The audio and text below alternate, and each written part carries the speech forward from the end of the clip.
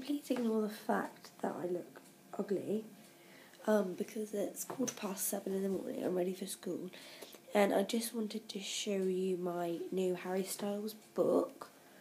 Um, it's a Harry Styles and Niall Horan book.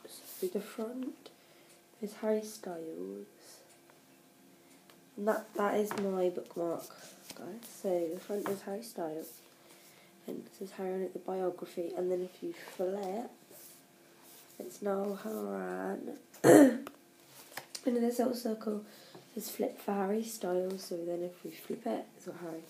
So on the back is Niall, on the front is Harry. Um, it's a really nice book, and uh, let me show you the photos that are in it. Hold on.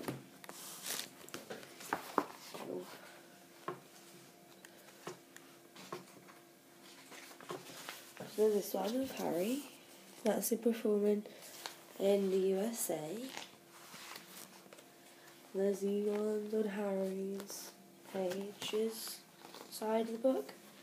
There's these ones on Harry's Teen Awards, Brit Awards, and uh, Kids Choice Awards. Yep.